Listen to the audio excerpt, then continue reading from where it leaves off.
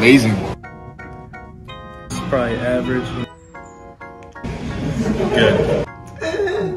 I love the I dining think it's hall. pretty good. I feel like there's more options in other schools and different places to eat. My freshman year, we went to the dining hall every night and it was always good. They have a new dining hall with really good pizza. I feel like JMU has one of the best dining food Yeah. I've ever had out of every college I've been to. Not ideal. Mine were great. It was kind of trash, not gonna hold you. I strongly believe I had the worst dorm on this campus my freshman year, 100%.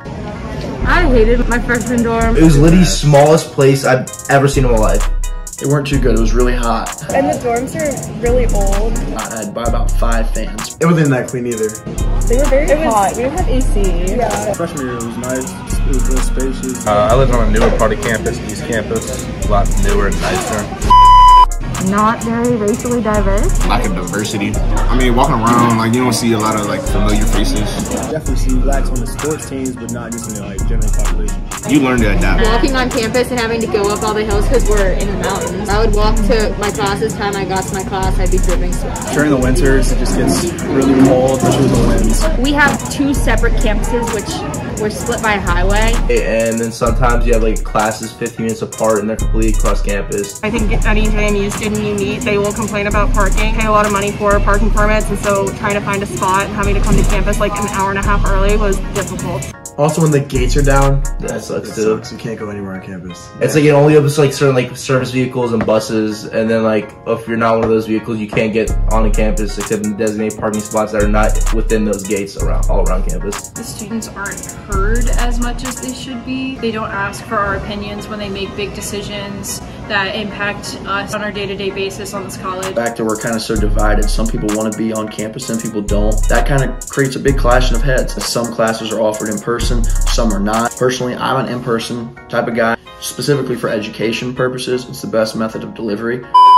Outgoing. Easy to talk to. I would say pretty friendly and welcoming. Like when you're in classes and stuff, like when you get to talk in small groups and stuff like that, everyone's like nice and you get to know them a little bit, and no one's like rude and people hold the doors for you. It's like our thing. Everyone holds the door. It's just a nice community.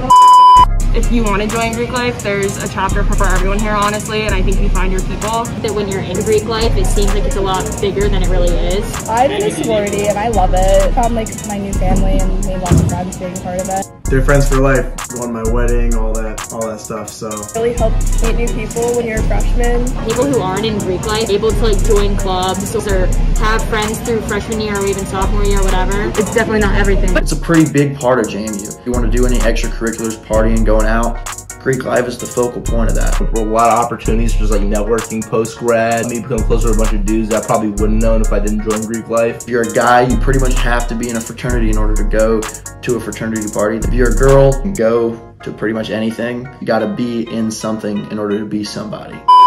It's so fun on the weekends. Thursday, Friday, Saturdays are always a good time. Um, we've got UREC, that facility is the biggest gym on the East Coast. If you're not into partying, like there's a ton of other things to do. There's a Gap View, which is a puppy place you can go and see dogs. People like to go hiking. Ski resort, literally probably like 10, 20 minutes away. We would go downtown a lot. It's like a really good geographic location. My freshman year was awesome. Living in the dorm, I'd go back and do it in a heartbeat if I could. probably going to the national championship with a team as a freshman. Football games. Everybody's there, and plus we win, so. Definitely college game day freshman year. ESPN came. The entire quad was like full of just students and people. There were signs everywhere. I think for me, like that's something that always stands out. Big knots, get a egg stack. I'm rich, I'm tryna on air Shit, I'm rich, I'm tryna beat your neck out. Savage got the 40 with the red dot.